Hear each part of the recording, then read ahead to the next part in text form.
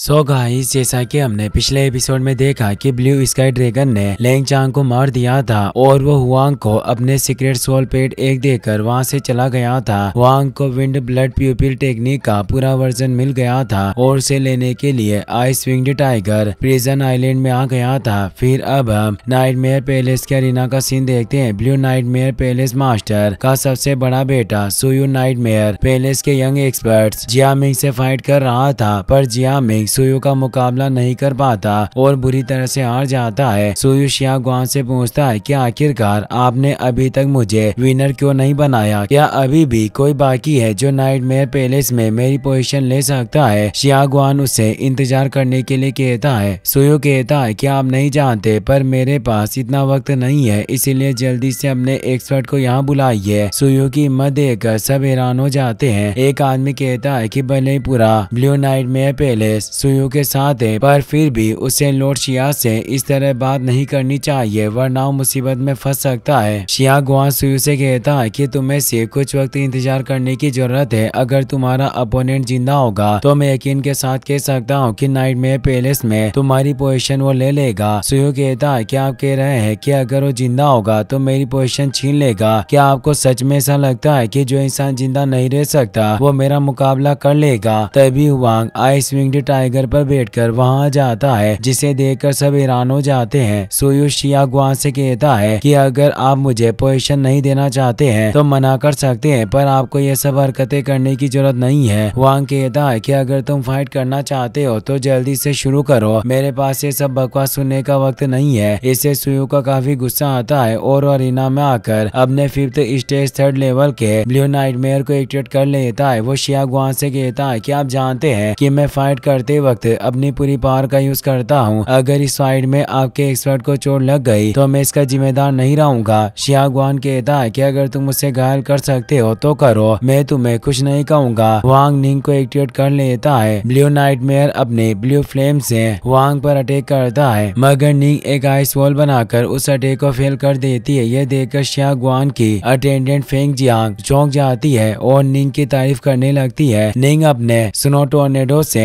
Blue night mayor पर attack करती है, पर ब्लू नाइट मेयर उससे बच जाता है। वो अपनी डीमन फ्लेम की मदद से उसके अटैक को फेल कर देता है और निंग पर अटैक करने के लिए जाता है, लेकिन निंग अपनी आइस मिरर स्किल की मदद से उसे रोक देती है। आइस मिरर स्किल को देखकर शियागुआन खुश हो जाता है। सुयु को भी आइस मिरर स्किल की पावर का पता चल जाता है, इसीलिए ब्लू नाइट मेयर को वापस अपने पास बुलाता है। मगर उससे पहले निंग एक ice crystal blue night mayor की चेस्ट में घुसा देती है, जिसकी वजह से ब्लू मेयर घायल हो जाता है। सुयु उसे अपने सोल स्पेस में भेज देता है। वांग कहता है कि तुम्हें नॉर्मल इतनी स्ट्रॉन्ग स्किल्स के बारे में भी नहीं पता है। इस तरह तो तुम एक सोल स्टूडेंट जितने स्ट्रॉन्ग भी नहीं हो, इससे सुयु को बहुत गुस्सा आता है। वो कहता है, क्या आखिरकार मैं तुम जैसे कमज़ोर से कैसे हार सकता हूँ? तुमने मुझे गुस्सा दिलाने की हिम्मत की है। अब तुम बच नहीं पाओगे। ये कहकर अपने हंटिंग वुल्फ और स्नेक पेट को एक्टिवेट कर लेता है। तो वांग भी मोए को एक्टिवेट कर लेता है। मोए की बॉडी से काफ़ी स्ट्रॉन्ग फ्लेम और रिलीज़ होता है और उस सोरा की वजह से हंटिंग वुल्फ और स्नेक पेट दूर गिर जाते हैं। शिया गुआ से कहता है कि इस बैटल में सिर्फ़ एक सोल पेट का यूज़ करना था, पर तुमने अपने बाकी सोल पेट्स को भी एक्टिवेट कर लिया। मुझे उम्मीद नहीं थी कि तुम इतनी बुरी तरह से हारोगे। ये बात सुनकर सब हैरान हो जाते हैं। एक आदमी कहता है कि मुझे यकीन नहीं हो रहा है कि यह लड़का सुयु से फाइट जीत गया। इसके अलावा उसके पास सिक्स टेल्ड डीमन फॉक्स भी है। वांग सुयु से कहता है कि अगर ये बैटल नहीं होती और हम दोनों असलियत में फाइट कर रहे होते तो तुम और तुम्हारे सोल पेट ज़िंदा नहीं बचते सुयु अपना सर झुकाकर वहाँ से चला जाता है। सब लोग शियागवान से वहाँ के बारे में पूछते हैं। शियागवान कहता है कि तुमने इटर्नल ओशन प्रिजन आइलैंड के बारे में तो सुना ही है। वांग प्रिजन आइलैंड का अकेला सर्वाइवर है और ये प्रिजन आइलैंड किंग भी है। ये बात सुनकर सब हैरान हो जाते हैं। एक आदमी कहता है कि लड़का भी बीस साल का भी नहीं है, पर फिर भी ये प्रिजन आइलैंड से ज़िंदा बचकर आ गया। इस तरह तो इसने लौट से आकर रिकॉर्ड भी तोड़ दिया। सुयु अपने डेड रूलोंग के पास जाकर वांग की बुराई करने लगता है। रूलोंग कहता है कि, बहुत शर्म की बात है कि तुम एक बच्चे को भी नहीं हरा सके। यहाँ तक कि तुमने सब लोगों के सामने खुद अपनी बेजती भी करवाई। रूलोंग नाइटमेयर पैलेस के यंग एक्सपर्ट यहाँ जिसे वांग को सबक सिखाने के लिए कहता है। वांग शियागवान से कहता है कि, तीन साल पहले तुमने मुझसे कहा था कि अगर मैं प्रिजन आइलैंड में ज़िंदा बचकर आ गया तो तुम मुझे अपनी फैमिली के पास जाने दोगे। तो अब मैं यहाँ से जाना चाहता बताओ तभी तियांजी वहाँ जाता है। वो वांग से कहता है कि मुझे खुशी है कि मैं तुम जैसे टैलेंटेड यंग एक्सपर्ट से मिला। मैं तुमसे फाइट करना चाहता हूँ, पर यह फाइट नाइटमेयर पैलेस की पोजीशन के लिए नहीं है। इसीलिए तुम्हें फ़िक्र करने की ज़रूरत नहीं है। मैं बस तुम्हारी पावर देखने के लिए ये फाइट कर रहा हूँ, और मुझे उम्मीद है की लॉर्ड शिया को भी इससे कोई परेशानी नहीं होगी। शिया गुआन को उनकी फाइट से कोई परेशानी नहीं थी। तियांजी वांग से कहता है की तुमने अभी फाइट की है। अगर तुम आराम करना चाहते हो तो हम कुछ वक्त बाद फाइट कर लेंगे। वांग आराम करने से मना कर देता है और फाइट करने के लिए तैयार हो जाता है। तियांजी अपने दो ब्लू नाइट मेयर्स को एक्टिवेट कर लेता है। वांग भी निंग और मुशु को एक्टिवेट कर लेता है। मुशु काफ़ी कमज़ोर था, इसीलिए निंग अपनी आइस पावर की मदद से उसकी बॉडी पर आइस आर्मर बना देती है ताकि वो सेफ़ रह सके। मुशु अपनी रूट्स की मदद से दोनों ब्लू नाइट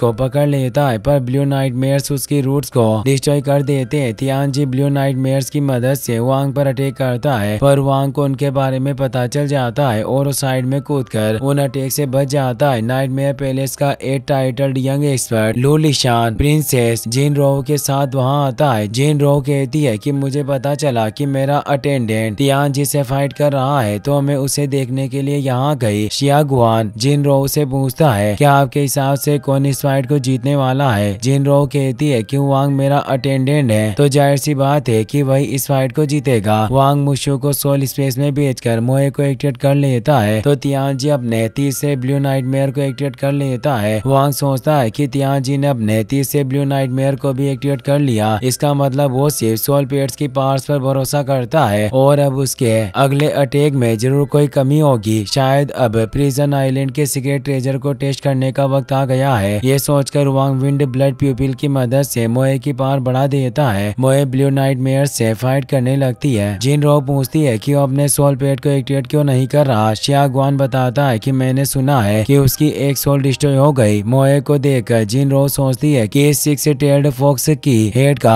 हाफ़ मून मार काफ़ी जाना पहचाना लग रहा है। मुझे ऐसा महसूस हो रहा है कि जैसे मैं पहले से इसे जानती हूँ, मोए एक ब्लू नाइट मेयर की आँखों पर अटैक करती है, जिसकी वजह से वो खाई में गिर जाता है। मोए अपनी इविल फ्लेम से अटैक करके एक ब्लू नाइट मेयर को डिस्ट्रॉय कर देती है। निंग और मोए एक साथ जी पर अटैक करने के लिए जाती है, पर ब्लू नाइट मेयर उसका अटैक फेल कर देता है। इतने वक्त में दूसरा ब्लू नाइट मेयर खाई से निकल कर वांग पर अटैक कर देता है। निंग वांग को बचा लेती है, पर वो खुद घायल हो जाती है। वांग एक फॉर्मेशन की मदद से ब्लू नाइट मेयर को रोक देता है। इसका फ़ायदा उठाकर निंग एक आइस क्रिस्टल से उस पर अटैक कर देती है, जिसकी वजह से वो ब्लू नाइट मेयर भी डिस्ट्रॉय हो जाता है। ये देखकर सब हैरान हो जाते हैं और वांग की तारीफ़ करने लगते हैं। यहाँ जी सोचता है कि मेरे दोनों ब्लू नाइट डिस्ट्रॉय हो गए हैं और अब मैं अपनी पूरी पावर का यूज़ भी नहीं कर सकता। अब मुझे जोखिम उठाकर वांग पर अटैक करना होगा। ये कहकर अपने ब्लू नाइट से वांग पर अटैक करवा देता है। निंग घायल थी और सोल स्पेस में चली गई थी और मोए भी वांग से दूर थी, जिससे सबको लग रहा था कि वांग हार जाएगा। मगर शियागवान का मानना था कि अब तियान जी ज़िंदा नहीं बच पाएगा। वांग शांति से खड़ा होकर मुस्कुराने लगता है, जिससे तियान जी खुश हो जाता है और उसे लगता है कि वांग ने हार मान ली थी। लेकिन वांग का व्हाइट नाइट मेयर एक्टिवेट हो जाता है और तियान जी के ब्लू नाइट मेयर को एजो कर लेता है। ये देखकर सब हैरान हो जाते हैं। लूलिशान शियागवान से पूछता है कि सिर्फ़ सोवरेन रैंक का व्हाइट नाइट मेयर ही दूसरे नाइट मेयर्स को निकल सकता है, पर आखिरकार इसे प्रिजन आइलैंड पर व्हाइट नाइट मेयर कैसे मिल गया? शियागवान बताता है की वही व्हाइट नाइट मेयर है जिसने इम्प्रेस बाय यू को निगल लिया था, जो एक व्हाइट नाइट मेयर की वंशज थी। ये बात सुनकर लूलिशान हैरान हो जाता है। वो कहता है की मुझे भरोसा नहीं हो रहा था कि व्हाइट नाइट मेयर भी सोल कॉन्टेक्ट कर सकता है, पर क्या लॉर्ड बाय ने तुम्हें इसे मारने का ऑर्डर नहीं दिया? शियागवान कहता है कि एक पावरफुल सोल पेट को इस तरह मारना कोई समझदारी वाला काम नहीं है, इसीलिए मैंने वांग पर इसका एक्सपेरिमेंट किया। मोए तियान जी को मारने लगती है, पर जिन रो उसे रोक देती है। लूलिशान वांग से कहता है कि मैं तुम्हें नाइट मेयर यंग मास्टर का टाइटल दे रहा हूँ, और आज के बाद से सब तुम्हें eternal ocean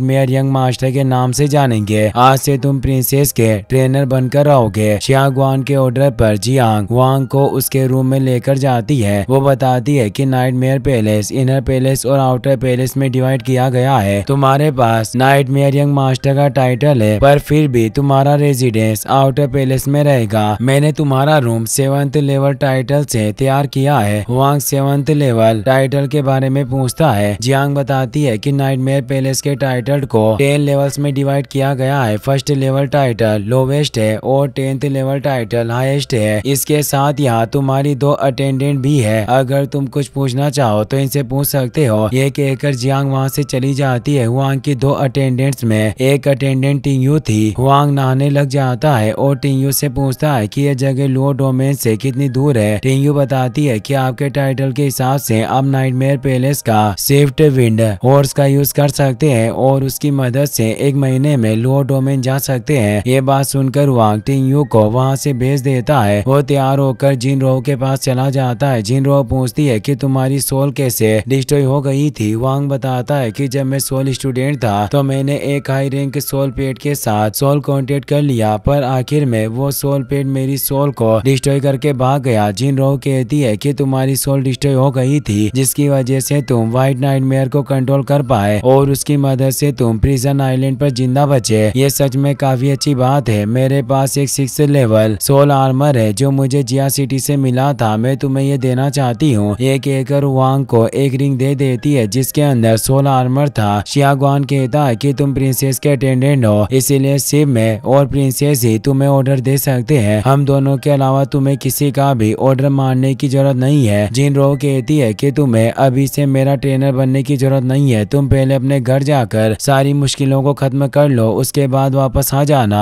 वांग जिन रो को थेस के कहकर वहाँ से चला जाता है, वांग टिंगयू के साथ विंडोर्स लेकर लो डोमेन की तरफ़ चला जाता है। टिंगयू से यंग मास्टर कहकर बुलाती है और पूछती है कि आप इतनी जल्दी पहले छोड़कर क्यों जा रहे हैं? वांग कहता है कि, तुम्हें मुझे यंग मास्टर कहने की ज़रूरत नहीं है। मैं अपनी फैमिली के पास जा रहा हूँ। मैं अपनी फैमिली की रेपुटेशन और ग्लोरी को वापस ला कर रहूँगा। इसी के साथ ये एपिसोड यहीं पर खत्म हो जाता है। गाइस, अगर आपको वीडियो पसंद आया हो तो इस वीडियो को लाइक करने के साथ साथ चैनल को सब्सक्राइब ज़रूर कर लेना। मिलते हैं नेक्स्ट वीडियो में। Thanks for watching